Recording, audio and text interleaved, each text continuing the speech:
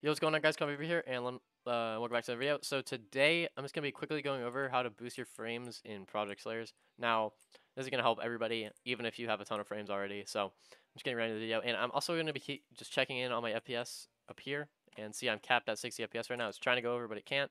So I'm going to show you how to get over 60 FPS right now. So what you're going to want to do is, I'm going to share my screen. You go to here, you go to type in RBX FPS Locker on Google, just so you know that I'm not like making you click something weird because the, the link does get kind of short and it looks kind of weird. So just click this one, releases Austin RBX GitHub. Okay, and you're going to want to scroll down to here and you're going to want to click this one right here. And it's going to make you download an application.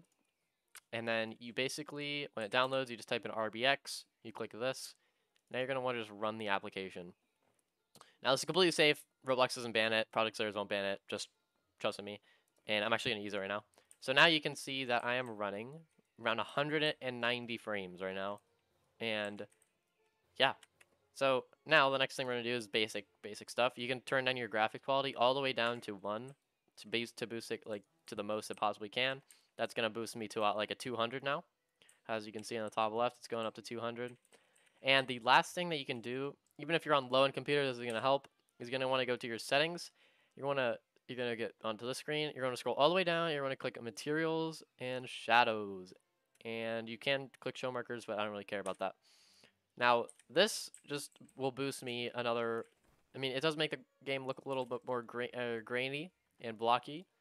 But this boosts your frames another, like, 20. So, that is pretty much all the ways you can boost your frames in Project Slayers. Now, obviously, when you move use move, it's going to be way less, um, you know, there's going to be way less frames.